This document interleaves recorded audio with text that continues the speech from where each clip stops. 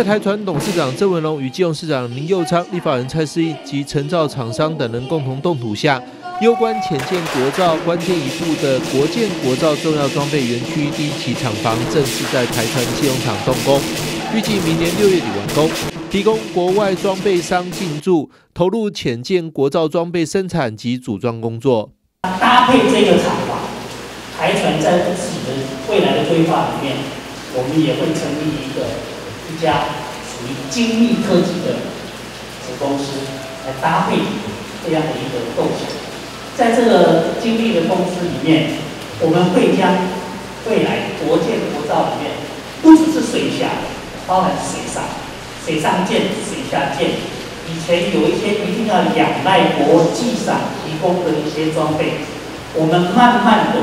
一点一滴的把它引入国内。大力争取国建国造重要装备园区设置在基隆的基隆市长李佑昌与立法人蔡思也希望为基隆带来更多投资及增加就业机会，同时让浅建国造的关键核心技术留在台湾，并强化台船机用厂员工的竞争力。今天厂房的一个动土，呃，代表了一个重要的一步。那这个厂房预计在明年六月份左右啊会来完工。那接下来呃这个相关的一个呃这个厂家就会进驻，呃生产线进驻。我想对于地方的一个产业跟经济，呃甚至包括就业，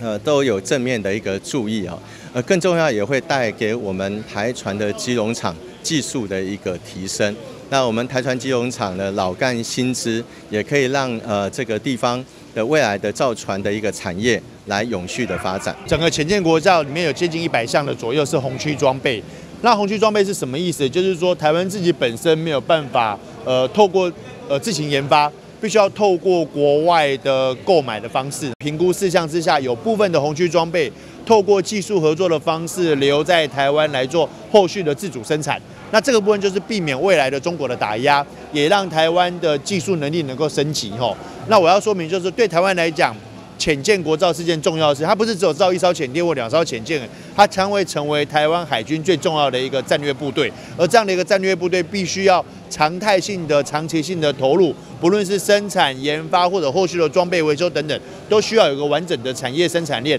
那台船将会在这过程当中扮演重要的角色。台船方面表示，第一期工程建制的厂房将近两千平，第二期工程也同步展开规划及设计，未来将结合台湾本土装备厂商投入重要装备研发，争取其他舰艇的装备市场，协助政府达成国防自主化的目标。记者张启腾，金融报道。